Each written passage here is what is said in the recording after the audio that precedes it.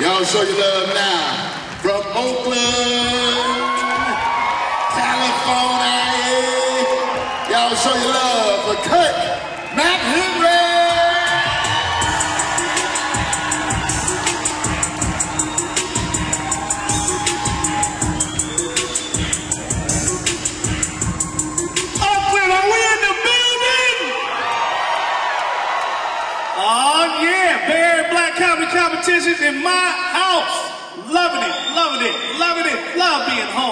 They had the first two rounds in Pleasanton.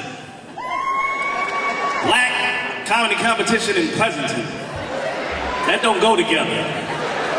You know, Oakland ain't far from Pleasanton, but I was taking Bart out to that motherfucker. I do not drive to Pleasanton because they got cops out there to take their job too goddamn serious. I'm from East Oakland. I like East Oakland cops. I like a nigga that's on the job for the check but really don't give a fuck what's going on. I like the kind of cop pull up on me like, hey, you got weed in that car? No. You want some? Pleasanton cops, Alameda cops, all them cops, they get behind you, and you a black man driving out there, and they get behind you, you start thinking weird shit like, "Shit, I'll snitch on the nigga I'm riding with just to get away.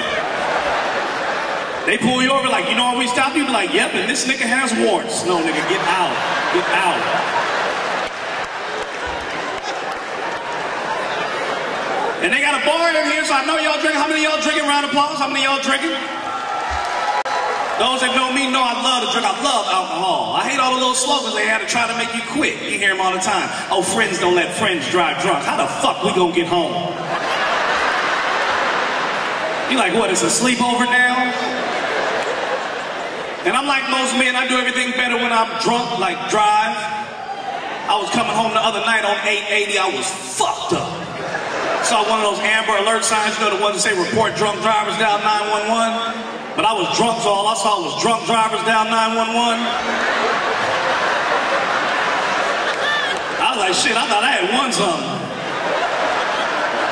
I called the lady, was like, hello, 911. I was like, hey, I'm drunk. She was like, sir, where are you? I'm like, damn, bitch, you nosy.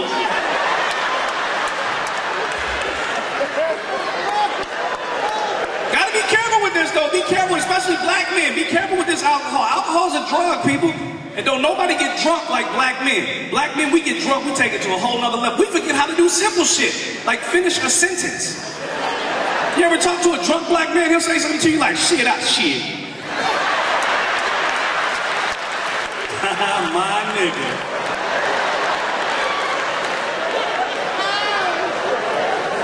And alcohol is the only drug that will let you know if you had too much the night before. You know what I'm saying? I got drunk one time and went to work the next morning. I'm sitting at my desk on my computer and I knew I drank too much because all of a sudden my stomach went, oh. And then my right ass cheek started twitching all by itself. And I'm sitting there thinking, damn, I gotta take a shit at work. And I don't care how nice your office is, don't nobody like shitting at work. But I got lucky when I went to the bathroom because there wasn't nobody in there. And I don't know about y'all, but when I'm shitting, I need room. So I went to the handicap stall. I don't know if you ever been to a handicap stall, but you can play fucking handball in a handicap stall. And I'm in there blowing this bathroom up with that. I drank too much look on my face, on my hand, on my head, my elbow, and my thigh. I'm like, oh God, what was I thinking about last night? All of a sudden, somebody walked in, my ass went wham! And whoever it was that walked in just went, damn, turn around and walk back out. So now I'm sitting here thinking that they just go, damn, and leave, but they do like I would have done, looked at the person's shoes like, damn, and then walked out. So now I'm in there trying to wipe my ass real fast before they can get out there and put two and two together. I'm walking around the office in my fucking socks so can't nobody see my shoes. I'm walking by people's desks, they like, ooh, do you smell that? I don't know if they talk about my socks or my ass. I'm like, fuck this, I'm sick, I'm going home. I don't need this kind of shit. But other than that, other than that, I'm in a good place in my life, man. I'm in a good place. I'm in a relationship. I got a beautiful woman in my life. I love her to death. Many of you got a good woman in your life, treat her like the queen that she is.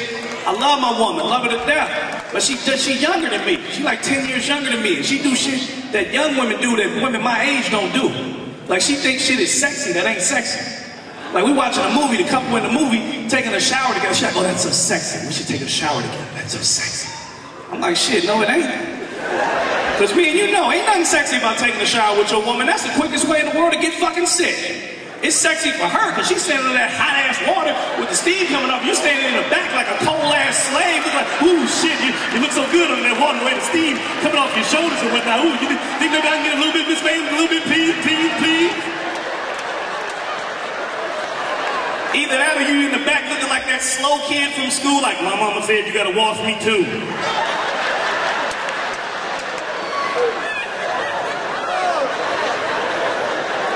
And it's funny because she has kids. I don't have kids. You know what I'm saying? I don't have kids. Those that got, kids, I'm telling you this, discipline your kids. Like I said, I don't have no kids, but I hit yours like they mine. I swear. Because kids are different now, man. They do different shit. They talk shit to you, talk, talk to the hand. You're like, what, a broke wrist?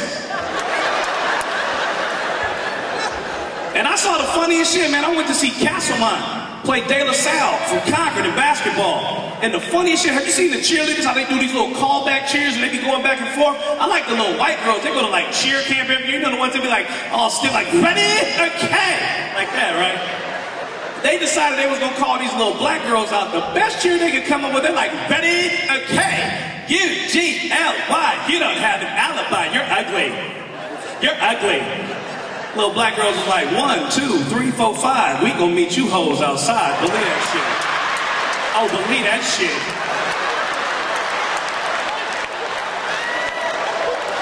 Little white girls like, are they fucking serious? And be honest with your kids. If you know your kids ain't really that cute, some of y'all don't know if your kids are cute or not. You know how you find out if your kids are cute or not? Take them to an all-black church. Let them old black women, the ones that saved now, they did their dirt in the 60s, but they saved now. But they don't lie. If they look at your kid and tell her, they compliment his outfit before his appearance, oh, that motherfucker ugly. They're like, oh, look at him in his little suit. That little black face that blue suit, girl, he looked like a little bruise.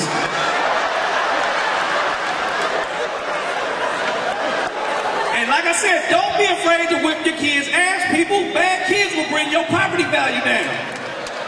Don't nobody want to live nowhere where it's no bad kids. You don't even want to visit nobody that like that. I went to pick up my friend for a show one time. I pulled up in the neighborhood, all these little thugs out there hanging out with their pants hanging off their ass and music playing, they smoking and drinking. I'm like, damn, I gotta walk right by them. Walked by one of them, jumped out in front of me like, who the fuck is you coming around here all unannounced and shit? What you, the police? I'm like, nah, man, I want to pick up my friend. She live in the house right there. He was like, yeah, you lucky we know that bitch. We're going to give you a pass this time. So I walk by, right? I get in her house and I'm sitting on the couch. She can see I'm kind of shook. She's like, what's wrong with you? I was like, man, Piedmont has fucking changed. I opened up Kirk McHenry, enjoy the rest of the night.